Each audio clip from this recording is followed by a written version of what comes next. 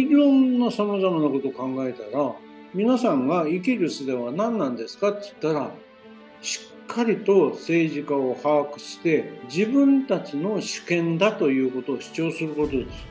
この国の主権はどこにあるか天皇ではないです。政治家でもないです。官僚でもないです。